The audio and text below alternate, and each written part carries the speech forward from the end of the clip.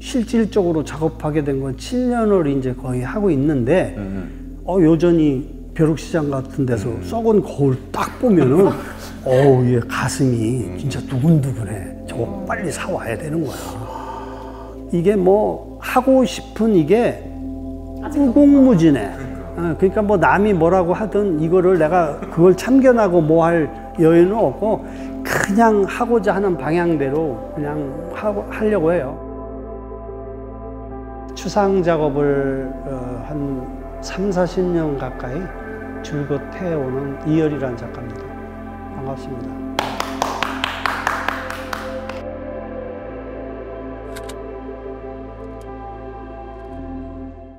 네, 안녕하세요. 아이고, 어서 오세요. 그림이, 아이고. 너무, 그림이 너무 좋은데. 어? 어서 와요. 네. 뭐 TV는 사랑의 식구 같아요. 약간.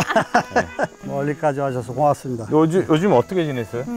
뭐 저 요즘에 이제 뭐 코로나 때문에 음, 이제 겨우 방학 끝나고 음. 이제 계약했잖아요. 음. 네, 그렇지. 대단했어요. 어, 계약이라고 해봐야 빈 강의실에 뭐 온라인으로 그러니까. 하는 거니까 음, 뭐 여기 집에서 해도 되는데 아, 근데 네트워크 상태나 이게 안 좋으면 음, 음. 한 줄을 뭐 다시 하기는 어렵잖아. 그렇지. 그러니까 차라리 학교로 가서 빈 강의실 사고 그래서 서울이 혹시 잘 있는가 구경 확인도 좀 할겸 아, 그래서 그랬었죠. 공간도 좀 좀 예, 그래요. 주면. 예, 예. 여기는 여기- 어떤 공간이지? 뭐 여기는 사실은 음. 작업하는 공간인데 너무 공장이어서 사실은 보여주기가 아유, 그런데 원래 작업실 공장 어? 아니에요? 그래서 윤 작가가 와서 이거. 공개를 안 할 수도 어. 없고 어. 이거 저 특별히 우리 그 아티스토기 위해서 진짜 이거 아무도 공개되지 않았다는. 어, 너무 누추해서 아닌데? 야, 여기 여기는 개방하는 게 사실은 와. 조금 그러, 부끄럽기도 하고 그런데 사실 얼핏 보면 그냥 정말 말 그대로 골동품 파는 창고에 들어온 느낌이야. 어, 어. 갑자기 요즘 거울 파는 거 아니죠?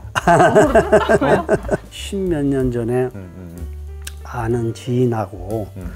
이런 빈티지한 작업의 소재가 될 만한 음, 음, 그런 거를 찾아서 뭐 벼룩시장도 다니고 뭐 하다가 음, 음. 철수하는 미군 부대를 갔어. 우연하게 뭐 저 미군 부대에서 쓰는 공구들 뭐, 뭐 오만 잡동사니가 다 있지. 그치, 그치. 한 켠에 이렇게 거울들이 쭉 있는 거야. 어. 그냥 그러니까 그, 그 사람들이 썼던 것들. 그렇지. 음. 갑자기 그냥 눈이 번쩍 뛰었어. 그래서 그 거울을 몇 쪽짜리를 내가 사왔어요. 그 당시에 이제 왜 거울에 대해서 이제 특히 관심이 갔냐면 따지고 보니까 유년 시절에 어머니가 경대 앞에서 이렇게 화장하는 모습이 저 지금도 생생하게 기억이 나거든. 그걸 아주 신기하게 그 찾아봤던 그 기억이 어렴풋이 있어요. 일반 작업실하고 느낌이 좀 달라요. 네, 맞아요. 예전에 선생님 그런 평면 작업했을 때는 우리가 생각한 음. 난딱 문 열었을 때 그렇지. 뭔가 물감 쫙 있고 뭐 했는데 저 저게 이렇게 네. 펼쳐져 있는 그렇지. 거지. 그렇지. 문쫙 열었더니 거울이 있어. 어, 거울이라는 게 음. 음. 언제나 장수성에 따라서 변화하잖아요. 그렇죠. 길 어떤 모퉁이에 걸려 있다 그러면 상시 변할 수 있잖아. 그런 거에 대해서 상당히 흥미로운 점이 있어요. 왠지 거울만 보면 가슴이 뛰는 거야. 아 그래요? 어. 거울에 비친 선생님 얼굴 보고? 아니 그게 아니고 어. 썩은 거울. 아 썩은 거. 썩은 거울이요? 거울이 오래되면은 일부는 막 썩음썩음해서 마치 인위적으로 음, 지워지는. 아, 뭐 추상 회화를 해놓은 듯한 음. 이런 모습으로 변하는 거야. 음. 오래되면 어. 그게 그렇게 나는 느낌이 좋았어요. 기존에 했던 추상 작업을 이 거울을 통해서 작업을 하게 되면은 실내뿐만 아니라 실외 음. 또 공간의 확장성 음. 뭐 이것을 입체로 한다라든가 또는 설치를 한다든가 현대 미술에서 할 수 있는 다양한 하나의 매체로 적합하겠다라는 생각이 들은 거야. 지금 요거 작업 중이신 거네요. 어, 그렇죠. 어. 그래서 이제 전에는 이 프레임을 네. 이렇게 만들었어요. 이렇게 이거 이제 제가 어, 고에서 음, 음. 배꼽에 어루새를 붙이다라는 게 하나의 부제로 이제 내가 쓰고 있는데 아. 음. 어루새라는 게 음. 거울을 뜻하는 거야. 거울. 음, 배꼽에다가 거울을 붙여놓으니 음. 속에 안에의 내용물이 다 비친다. 에, 속이려 해도. 속일 수 없다. 다 들여다 보이니까. 그런 어, 부식된 또는 아니 들여다 보이는 또 다른 공간으로서의 그 느낌을 전달하고 싶어서 점으로 찍어서 반사에 반사를 그린다는 음. 그런 자세로 작업을 하고 있는 거예요. 그래서 이제 이렇게 거울 뒷면에 요걸 껴서 요게 이제 이렇게 프레임을 이렇게 만들고 또 이제 투명 천을 씌워서 그리는 이제 이렇게 세팅을 했었어요. 처음에는. 어. 음. 근데 이제 이게 음. 조금 차갑게 느껴지는 거야. 그래서 지금은 보면 차가워요. 어 그래서 이제 지금은 음. 이제 이렇게 음. 두꺼운 이런 나무를 음. 요. 사이즈에 맞춰서 이제 이거를 재단을 해서 음. 덧대 가지고 이제 이렇게 작업을 하고 있죠. 어. 이천 두께가 있잖아요. 그렇죠. 네. 이 공간에 두께가 있어서 음, 음. 이걸 수직으로 봐야 찍히는 위치가 정확한 거야. 맞네. 이 삐다닥하게 맞다, 보면은 맞다, 이게 맞다. 위치가 그러니까 이게 틀려져서 겹치는 부분들 그렇지. 잘못하면 잘못하면 안 그렇지. 돼. 이건 거의 우리가 조선 시대 딱 어머니의 모습들인데. 수 놓을 어, 때, 그러니까, 그러니까. 자수할 때. 네. 음. 그래서 이제 그런데 이거 수틀 같아요. 어 맞아 맞아. 그래서 이제 이렇게 놓고 여기서 이제 이렇게 이렇게, 이렇게. 해가는 거예요 이렇게.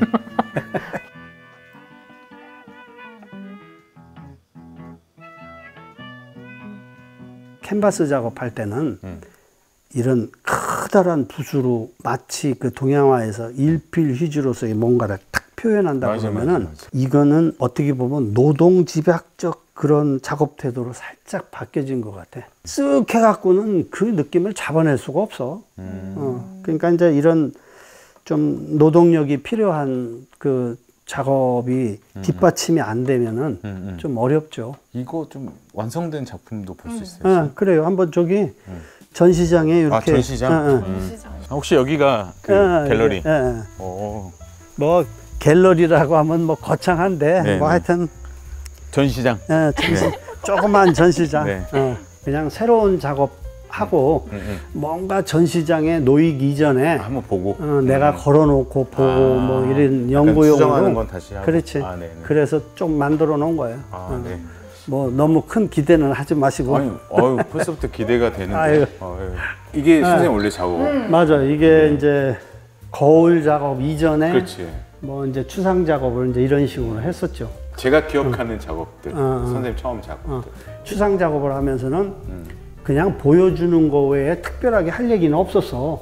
음. 아, 그냥 작업 그대로 음, 보는 거 그냥 그대로. 보고 느끼면 되니까. 음. 그런데 이거를 하면서는 너무 할 얘기가 많은 거야. 여기서는 어떤 말을 이끌어내고 뭔가 말을 걸어온다는 하나의 그런 느낌으로 나한테는 와요. 내가 이제 사실은 그 딸내미들이 아프리카에서 딱 10년이 있었어.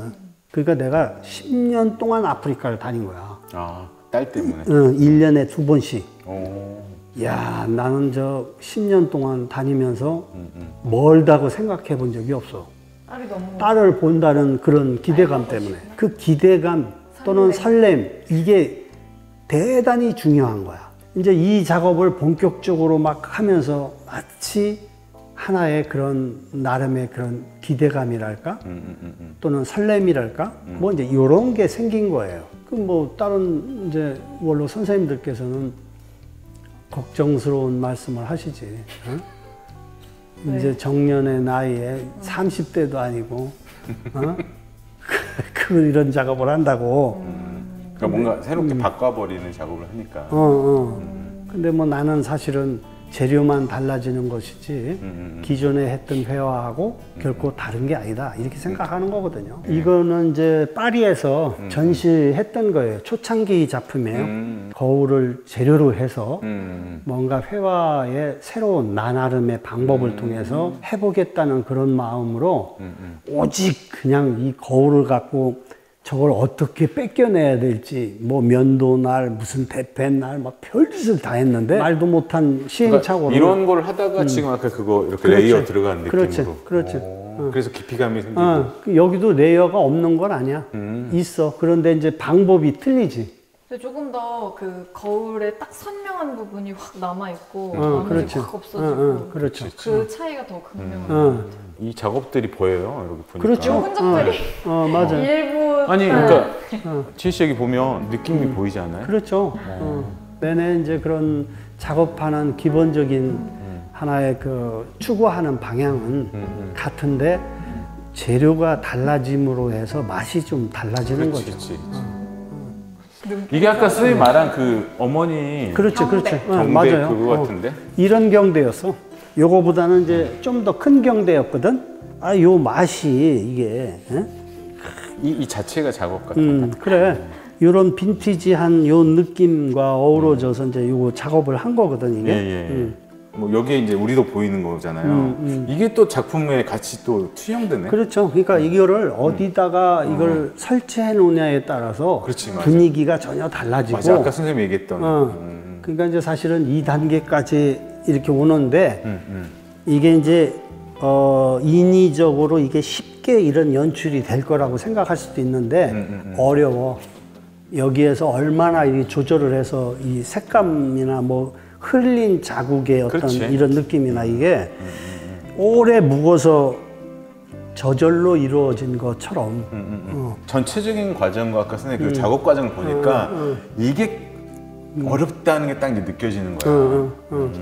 그리고 작품 앞에서 음. 오래 볼 수밖에 없는 게 아까 그그 뒷모습을 봤잖아. 음, 음, 여기서 이렇게 있었다. 그 그렇지. 요 모양 그대로 밑에 또 어, 있고. 그렇지. 있고. 아까 또 정면에서 이렇게 했던 그. 그렇지. 어. 여기서 보면 공간이 이렇게 깊게 느껴지잖아. 그렇지, 그렇지. 어. 이제 배꼽에 어루새를 붙였기 때문에 보이는 거야.